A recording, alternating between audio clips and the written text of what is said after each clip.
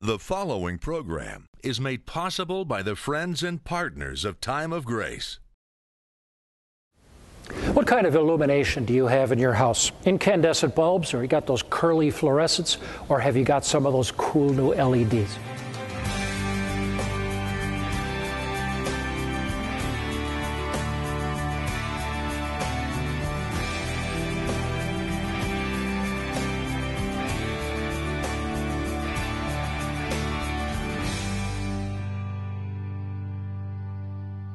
There's really only one reason why you can see my face right now. Even though I'm inside a building, you can see me because of electric lights, incandescent lights.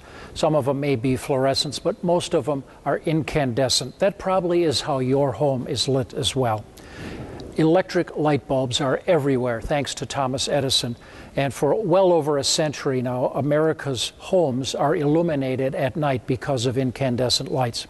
But before that era was what's called the gaslight era. My old house that I live in, built in 1880, still has its gas pipes, and it, we still run our furnace and our water heater off of gas. But we also have a network of old steel pipes still built into our walls that used to deliver gas to burners and jets so that they could be used for illumination as well. Before that was the era of oil lamps. First, whale oil, and then kerosene took over. And in the years before and right after the Civil War, that's how people would light their homes at night. They would fill these reservoirs with oil, at first taken and harvested directly from the blubber of whales. And then kerosene got to be cheaper, and they would use that. Before that, it was candles, and every colonial village had a candle maker because that was the most economical way to get illumination. I would like to talk to you this Advent season about choice number two oil lamps because that is the way in which God chose to illuminate his sanctuary among the Israelite people. And there's an Advent story in the story of the oil lamps.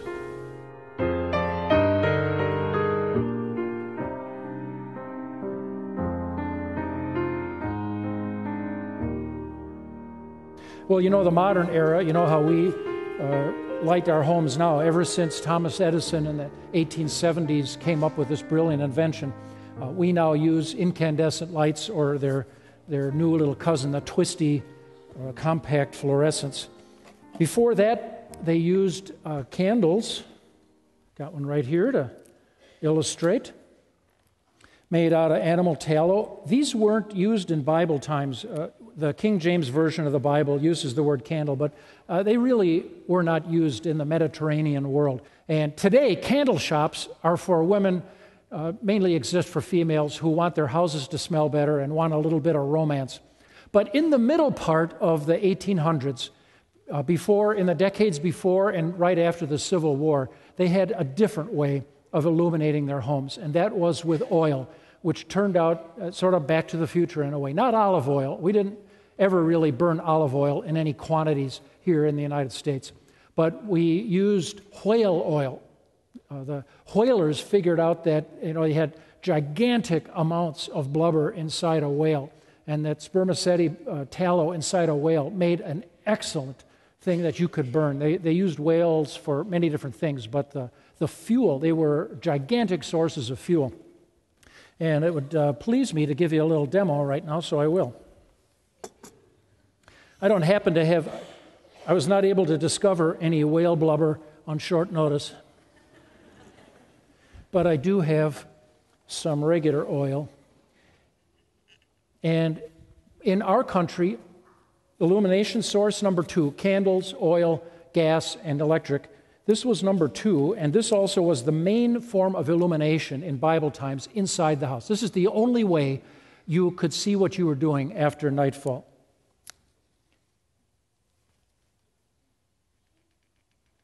There we go. In the Mediterranean world, olive oil was cheap and easily locatable. In fact, right outside Jerusalem, uh, to the east, right across the Kidron Brook, was the Mount of what? Olives. You all know that. The Mount of Olives. In fact, there were so many olive trees, it made sense to have a permanent oil extraction facility located right there. And the Hebrew words for olive press are guth shemen. And so it came to be a little clearing and a place that Jesus liked to go on a retreat. It's like a little urban park. And you don't know it as Gethsemane, you know it as the Garden of what? Gethsemane. It was right there. And they used olive oil for everything. It was like the wonder substance in the uh, Bible times. Uh, in a place where it was not easy to get uh, creams and lotions and stuff, every female who who feels her hands dry out and is worried about her face getting all ashy and peeling, they would rub the oil into their hands to keep them lubed up. If you were outside working outside a lot in a very dry climate with a lot of sun beating down, you'd be glad to have a little oil to rub into your face, perhaps even lube up your hair a little. It, in the pre Brylcreem days and the pre gel days, uh, it actually kind of helped to manage your hair if it was a little wild and woolly. They also used it for cooking, of course. They didn't have Crisco and Mazola uh, back in those days or oleo. So to have some oil to cook with, you know, you need that when you bake to help everything kind of stick together. You need oil to cook with. And even today, uh, fine Italian restaurants all are very proud of their extra virgin olive oil that's used in their meals, in their entrees, and of course also it's the, it's the binder for many salad dressings that you'll have in fine restaurants. But one of its most endearing uses back in the day was to burn. Olive oil is flammable. And it was the substance that God chose as part of his Advent drama. And we're in Act 2 of the Advent drama of the tabernacle. And I'd like to invite you to open up your Bible to Exodus chapter 25. And we're going to take a look at what's inside the tent. Still doing, you're doing well. Last week I talked to you about the basic courtyard, the fence, which set off the sacred space. God told Moses from on Mount Sinai, He said, Have them make a sanctuary for me. Sanctuary is based on the Latin word sanctus, means a holy place. I want a place among you that will be respected, but yet which will bring comfort to people that I haven't given up on you, so that they know I'm there with you. But yet close enough that we can have some interaction, an interface, that they can worship me, confess before me, and I can express my love and forgiveness to them. Make a sanctuary for me, and I will dwell among them. So they screened off sacred ground. Four of them would fit on a football field. The long side of this rectangle would be roughly sideline to sideline, if you imagine it along the goal line of a football field. And then imagine the other side on about the 25 yard line. That was the general size of the courtyard. Inside that courtyard, uh, we talked about this last week, I won't go into it again, was the fire pit. Basically, a bronze grate on struts, getting it about four or five feet in the air. And that is where two things went on. Animals were cut up in a bloody way, their blood caught and butchered, sprinkled on the altar, poured out uh, around the edges of it for the shedding of blood for human sin. And certain choice portions of that animal were burned. The other parts were eaten by the priests and in certain of the sacrifices in a communal meal with the worshiper. It was a, a re knitting together of a, a torn and frazzled relationship. The second main thing that was done there was where people would burn up an animal entirely to symbolize total dedication to the Lord. But that's as far as you'd be allowed to go.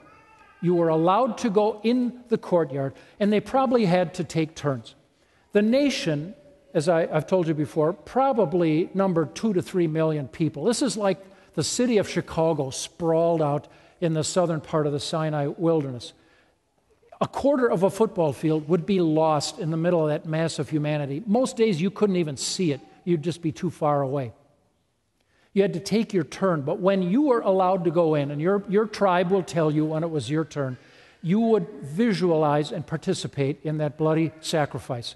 And all would be well, for the forgiveness of God would be pronounced on you because of the slaughter of an innocent victim. Now, the priests were allowed to go inside. There was a tent there made of a, a structure of 48 um, acacia wood beams, light enough that you could carry them. They weren't gigantic like Wisconsin farmhouse trusses. You'd never be able to stagger down the road with them. So they were as lightweight as possible, made like Tinker Toys with interlocking sockets that could be hooked together, and you could assemble this framework like the frame of a house, and then over the top of it, you would throw the tent fabric. It was to be made in a rectangle, 45 feet by 15. Think of it like three large living rooms in a row, only one of them was a double wide. There was no interior wall between two of them. So you had a larger room filling up two thirds of it and a little cube at the end, the second room. Over the top of it went fine linen, over the whole top. The craftspeople, the men and women, spun flax into linen, wove it. They, they had set up, you know, remember I told you last week, they had set up a tent city there. This was not just camp. They were there for probably over a year, and that meant that they had time to set up looms and a foundry to make all kinds of metal stuff, and were able to weave. And they wove and stitched together a gigantic linen tent, threw it over the top, and staked it down. Over that went the wool layer, made out of mostly goat hair, a little bit of uh, ram's, uh, ram's hair, dyed red. The middle layer was red. Perhaps God wanted them thinking blood. And over the top of that, uh, they were able somehow to get a hold of hides of sea mammals, like manatees. There must have been manatees in the Mediterranean back then. And they were skinned, they either bought or, or caught or trapped these and skinned them and knit them together and then threw a gigantic leather thing over the top of that and staked it down. So God really wanted that innermost room to be pretty dark. He had three layers over the top of it.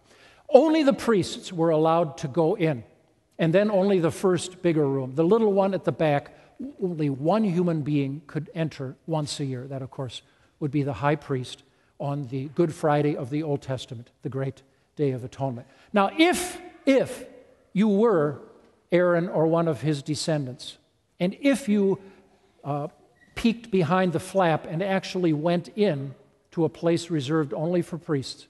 And by the way, you better have made your sacrifices and you better be ceremonially clean, including washing up on the washstand.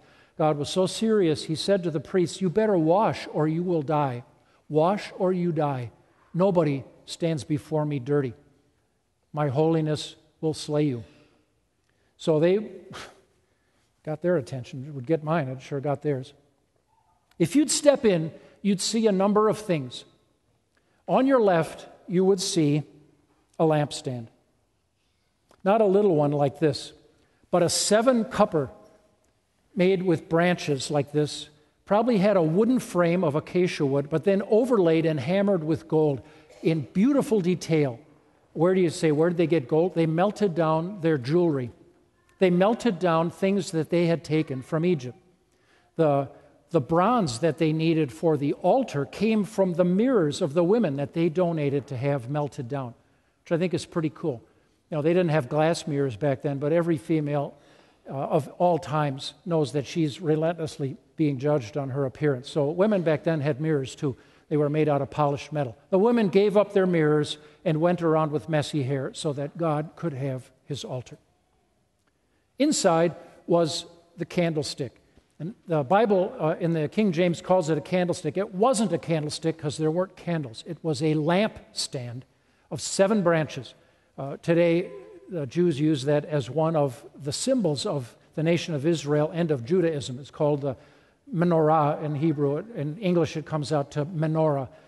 Although sometimes you'll see them with nine branches. Those are called the Hanukkah menorahs. They're used for a different purpose, not to recall the temple and the tabernacle, which had seven but to recall the liberation of the temple from the Syrian invaders at the time of the Maccabees. Another story for another day. And it was the job of the priest every evening to go there and set up to fill all the oil cups so that those lamps could burn all night. Get the wicks just right, keep make sure that they were all tended and all burning because the light that would be lit from that lampstand was to symbolize the presence and happy face of God. Nobody puts out candles when you're angry. There's different kinds of fires for judgment and anger. Candles are when you're relaxed and there's fellowship and togetherness. Uh, there's, guys, if your wife makes dinner, or your girlfriend makes dinner and there's candles on it, there's a message there, it's a little heads up uh, that she's not just interested in pounding down some chow, but wants, is interested in some conversation and a relationship. When God lights the lamps, He's smiling at you, saying, Welcome to my home. You've passed through the blood. You're good with me now. I'm smiling. I'm, I'm relaxed. It's my house. Welcome to my house. Welcome to my sanctuary. Now, as you know, they couldn't go in, though. So God said, Make a representation. This might be one of the oddest representations of people you ever did see.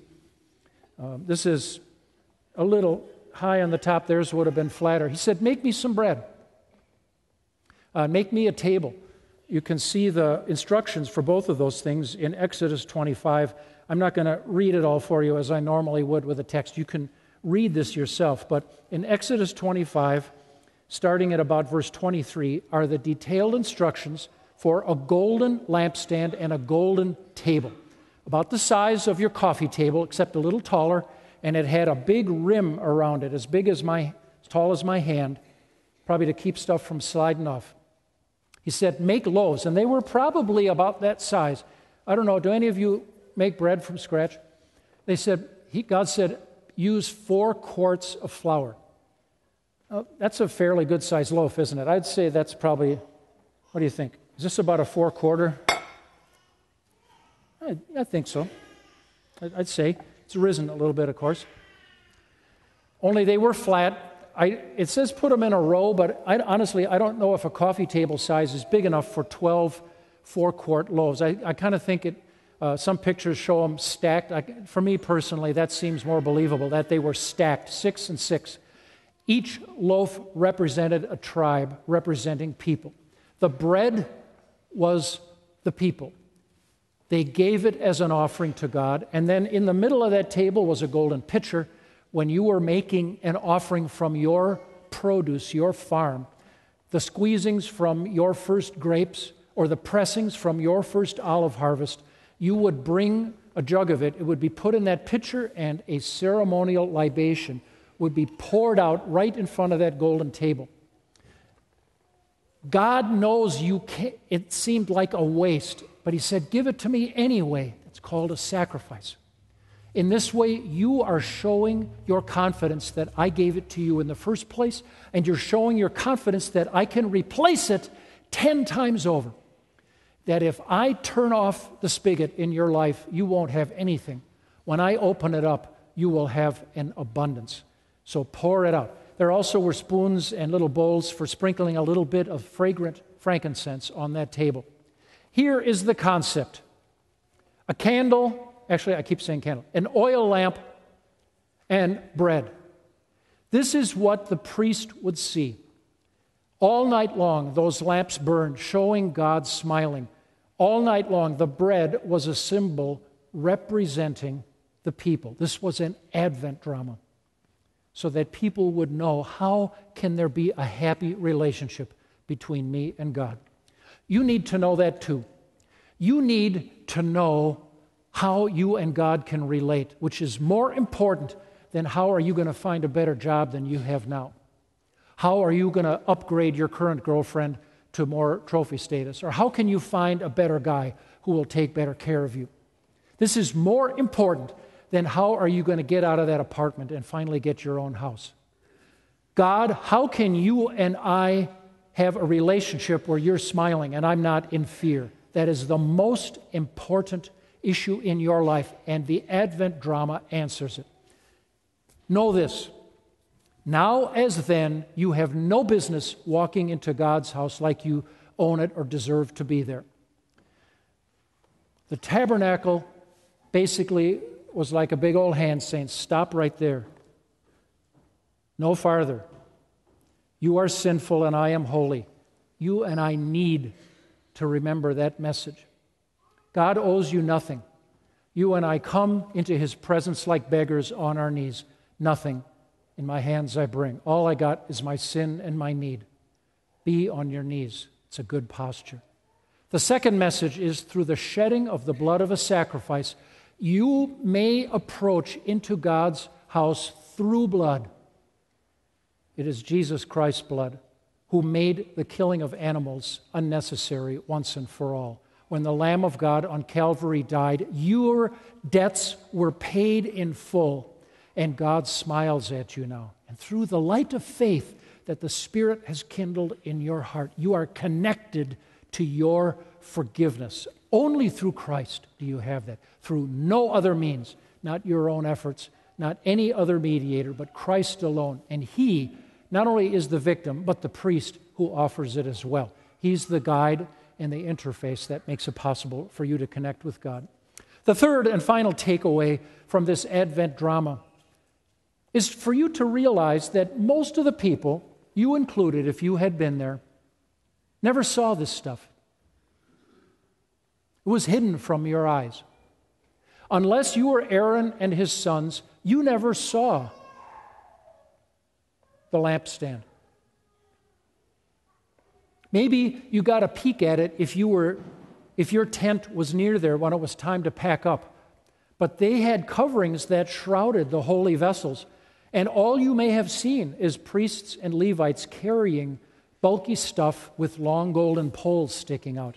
You may never have seen the bread or seen the oil lamps. You accepted it by faith, for he reveals his deity and veils it in secret. You accepted the message of things that you could not see. Your life right now may seem very frustrating to you because you want to see God's face. You'd like to see more miracles in your life. And maybe some of you have incredible stories of God directly invading your life and doing things no one else could, but maybe not. Maybe you're trudging along like these Israelites in their dust. I encourage you to use this Advent time profit, uh, profitably and confidently so that you not panic or think that all is lost because my life is such a struggle. We're, we're hiking in the desert right now. And uh, the prophet Isaiah says, God, surely you are a God who hides himself. That's not a sign of weakness or disaster or failure. It's part of the design for God to lead us on by faith. If you wait until you lay eyes on Christ before you make up your mind what to do with him, it will be too late. Now is the time. Here is your chance, maybe your one chance. Don't muff it, don't blow it. Now is your time. It's like you're a punt receiver playing in the Super Bowl. You don't get lots of tries.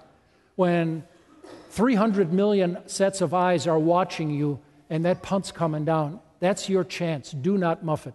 Today is your chance to realize what God was trying to teach the Israelites that what you cannot see is conveyed to you in a message, and it makes all the difference in the world. But as you, as you see yourself up here in this loaf of bread, realize that the flames of that lampstand are the smiles of God beaming down upon you, for through Christ, it's all good between you and Him. And you may live your life now, no matter what messes are going on, no matter what sins you have forgiven, no matter what fears and insecurities and depression you may struggle with. You may live your life joyfully and confidently, knowing that God and you are all good. This is good news for God's people. Let everybody say, Amen.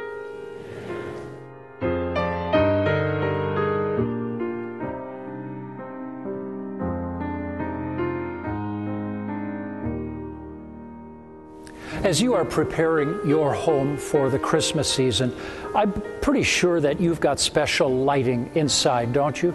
Perhaps you've strung some extra strands of light around your archways, or maybe you've got some trees. I, I actually know some people that have a half a dozen different trees of various sizes. Not just their big one in the living room, but they love the lights. Perhaps you've strung some outside your home as well in this dark time of year to shed some more light into your home. You know, we kind of use Christmas trees and evergreens to symbolize that never changing, always green love and forgiveness that God has for us. Those trees do not die over the winter, they don't shed their leaves. The lights that we string in our houses also have some beautiful Advent symbolism that just as the people of Israel know, knew that inside the holy place, the light coming from those oil lamps from the lampstand would never go out and signify the smiling, happy face of God upon them, represented by the bread. You and I can know with absolute certainty that as we light extra lights in our house in the Advent season, let those lights represent the smiling face of God for you, that His presence is always with us and that it's a happy presence. That because we've passed through the fire of the sacrifice, the altar of sacrifice, we may now enjoy the smiling and approving face of God. Don't go away. I'll be back to pray with you in just a minute. Would you like a resource to help you in your personal planning and renewal in the new year? Then we'd love to send you a Grace Moments Devotions book for January through March. These daily readings will provide you with a little scripture and life application to encourage and sustain your faith each day. This book is available for your best gift. Call today or visit timeofgrace.org/store to request your copy. If you've ever done anything on Facebook, you know that one of the things you can do is click the little image or icon that says like, and you can like something. And this shows support to the type of content that you are enjoying, whatever it might be. You know, your gifts to Time of Grace are a really sincere way of saying that you like the program and its content. I want to thank all of you who, in this past year, have provided financial support for Time of Grace. And if you have not made a gift this year, let me ask you today right now to pray and consider a gift to this vital ministry to lift up the name of Jesus Christ and make him look good to the world. We have no other way of support other than you, our friends, our viewers, and our readers. So please like Time of Grace today with one of your gifts. I'd like to pray with you today. This Advent season, let's ask for Jesus to be light in our hearts. Lord Jesus, long ago when you designed your earthly house, a sanctuary to live among the people of Israel. When they had been forgiven through the slaughter of a sacrificial victim, they, through their priests, could enter into your presence and experience the light of your presence and the light of your smile. We ask this Advent season that we remember it is only through you, the light of the world, that we can enjoy the favor and smile of our God. We love you, Lord Jesus. In your name we pray. Amen. For Time of Grace, I'm Pastor Mark Jeske, reminding you every day is a day of God's amazing grace for you. Helping you reach the next level of your Christian life is a driving passion for Mark Jeske and the ministry team at Time of Grace.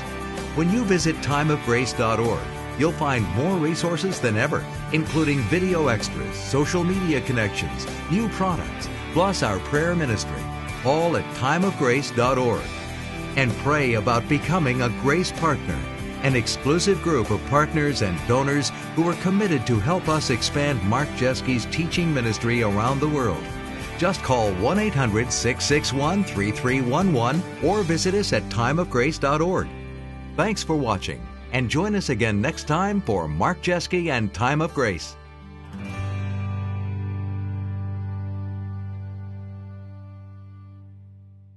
The preceding program has been made possible by the friends and partners of Time of Grace.